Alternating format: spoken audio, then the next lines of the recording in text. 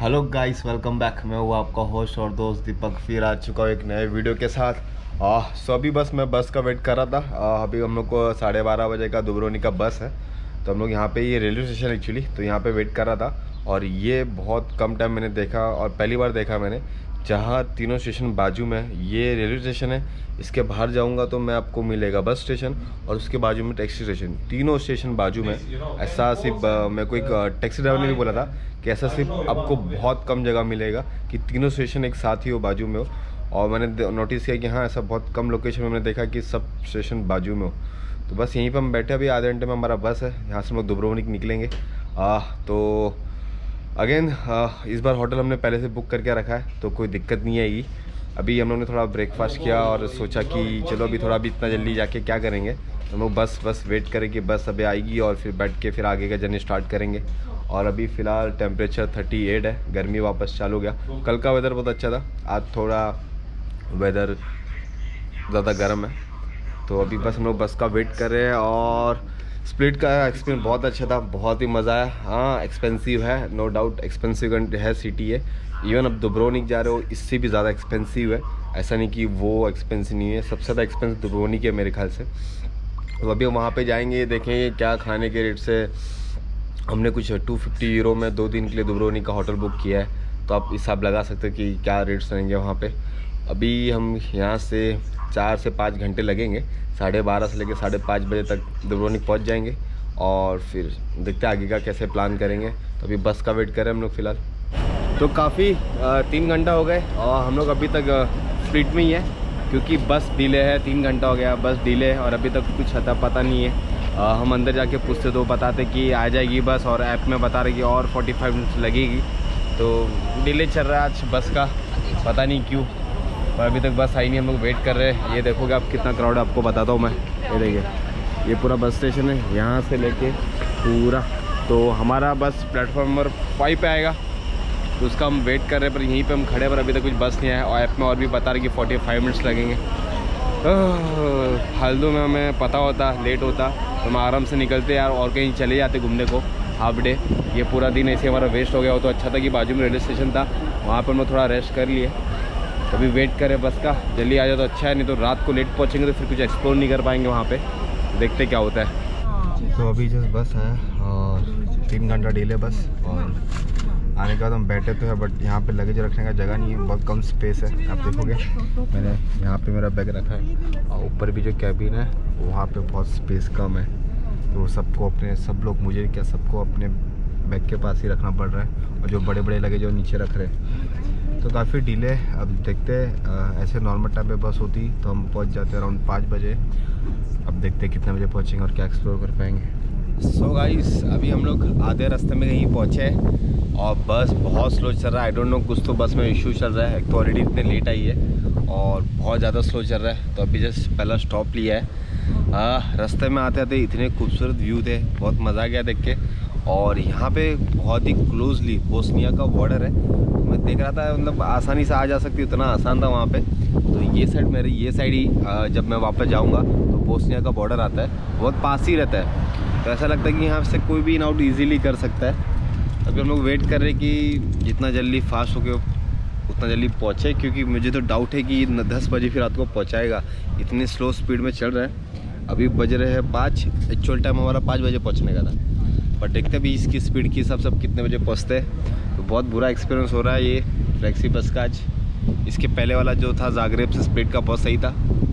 थोड़ा आधा एक घंटा ऊपर नीचे पर पहुँच गया। और अभी वाला बहुत बुरा हो रहा है। और एक चीज़ बहुत अच्छी लगी, यहाँ पे सब पेशेंस पे, ऐसा नहीं कि लेट बस हुआ तो सब ड्राइवर पे चढ़ रहे थे, ऐसा कुछ नहीं था। सब चुपचाप आए, सब चढ़ गए बस में और वैसे ही चल स्लो चला रहा तो भी कोई कुछ बोल नहीं रहा है। ये चीज़ थोड़ी अच्छी लगी कि बहुत सब पेशेंटली सब यहाँ पर रह रहे अभी जस्ट ड्राइवर साहब ने अनाउंस किया कि दुब्रोनिक्स यहाँ से एक ब्रिज नया लोग ने बना है। वो वहाँ से आज हम लोग को लेके जाने वाले तो उन्होंने अनाउंस किया। तो सब खुश हो गए। तो मैं आपको भी दिखाऊँगा वो नया ब्रिज जो भी नया नया बना है। तो अभी आएगा। अभी यहाँ से दुब्रोनिक 75 किलोमीटर और है। मतलब एक से डेढ़ घंटा और जाएगा।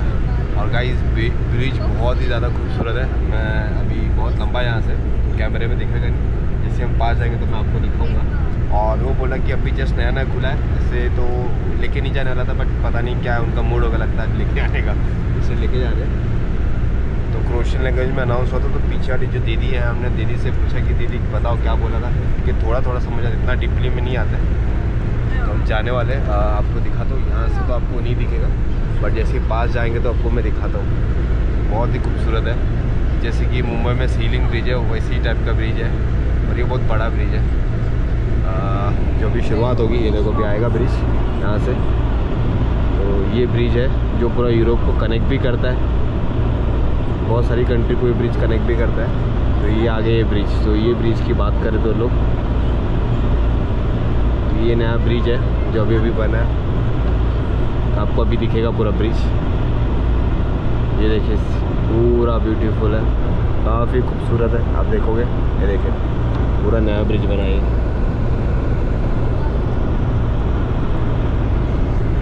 काफ़ी खूबसूरत है। तो अभी और एक से दो घंटा बिताना पड़ेगा यहाँ पे। जस्ट अभी हम लैंड हुए हैं दुब्रोवनिक में। आ, नौ बज गए। आज का पूरा दिन ख़त्म कर दिया लोग ने मेरा। इतना तीन घंटा बस लेट थी। साढ़े बारह की थी। साढ़े तीन से चार बजे के करीब आई और हम लोग नौ बजे पहुँच रहे तो बहुत ही पूरा दिन ख़राब हो गया, क्योंकि मेरे पास सिर्फ़ कल का दिन रहेगा एक्सप्लोर करने के लिए। पता नहीं क्या करें यार, पूरा ख़राब कर दिया हमारा प्लान आज का। तो अभी हम यहाँ से हमारी हॉस्टल जा रहे हैं, जो यहाँ से सिर्फ़ 500 मीटर की दूरी पे, जो मेरे पीछे आप देख रहे हो, ये बस स्टॉप है। यहाँ से यहाँ से जस्ट 500 मीटर की दूरी पे हमारा हॉस्टल है। तो अभी जाते थोड़ा फ्रेश होते और देखते अभी रात को यहाँ पे क्या एक्सप्लोर कर पाएँगे। और अभी एक जन से भी मिलने वाला हूँ मैं। मैन ऑफ़ फ़ूड करके, उनका यूट्यूब चैनल भी है और उनका इंस्टाग्राम पे भी है वो। तो हमारी ऐसी बात हुई थी कुछ तो जॉब से जॉब को लेके। तो ये अभी अभी जस्ट ये भी आए हैं यहाँ पे दो दो महीना हुआ इनको इंडिया से आए हुए यहाँ पे। तो उनसे भी मिलने वाले आज हम लोग अभी। तो अभी जस्ट मैंने हॉस्टल में एंट्री किया। तो रूम काफ़ी अच्छी है हॉस्टल जैसी फीलिंग नहीं आ रही। ऐसा लग रहा है कि प्रॉपर होटल है। तो अगर आपको आना तो मैं इसका रिकमेंडेशन दूँगा। बिकॉज़ बहुत अच्छी और साफ़ सुथरी लगी मेरे को ये हॉस्टल और इसका हॉस्टल का नाम है होटल सोल और एक चीज़ मैं आपको बताना चाहता हूँ, मैं ये बुकिंग डॉट कॉम से बुक किया था तो मैंने कुछ टोटल मेरे मिला के 196 यूरोस पे किए इसके प्लस यहाँ पे आके मुझे 68 कूना मेरे को यहाँ पे देना पड़ा, जो बोलते तो ये लोग सिटी टैक्स लगता है तो मैंने फिर ये रिसीप पड़ा उसमें देखा तो पर डे मेरे मेरे को 80 कूना एक्स्ट्रा चार्ज किया है, हम दो जन हैं तो 20-20 कूना पर डे हमारा टूरिस्ट टैक्स है तो ये पे करना पड़ता है। तो चलो, अभी हम जा रहे हैं पिलर गेट यहाँ से। वहाँ पे एक भाई अपने जो मिलने वाले हैं। तो चलो, वहाँ पे जाते हैं और यहाँ से भी बस मिलेगा, कैसे मिलेगा वो देखते हैं। तो चलो, वहाँ पे जाते हैं। तो पीले गेट के लिए हम निकल चुके हैं और मैंने अभी जस्ट बस लिया है। तो यहाँ पे पर पर्सन पंद्रह गुना लेते हैं। और ये टिकट रहता है पीछे देखो आप स्कैन किया है। तो यहाँ से कोई डेढ़ किलोमीटर ज़्यादा नहीं है। पर जैसे आप एंट्री करोगे तो आपको गूगल पे तो नहीं दिखेगा। बस बस नंबर आठ जाता है, दस जाता है और ये वन ए है और ग्यारह भी है। तो ये सब बस जाती वहाँ पे लिखा था। तो गूगल पे आपको ये सब नहीं मिलेगा। बट एक भाई है, उन्होंने मुझे बताया, जिनको मैं अभी मिलने जा रहा हूँ, उन्होंने मुझे बताया कि ये सब बस मिलती है, फिर मैं बस स्टॉप पर जाके देखा तो बस मिलती है। और जैसे एंट्री करोगे, तुरंत आपको पे करना और आपको टिकट मिलेगा। ये one one one way ticket है, कुछ पंद्रह गुना लगता है।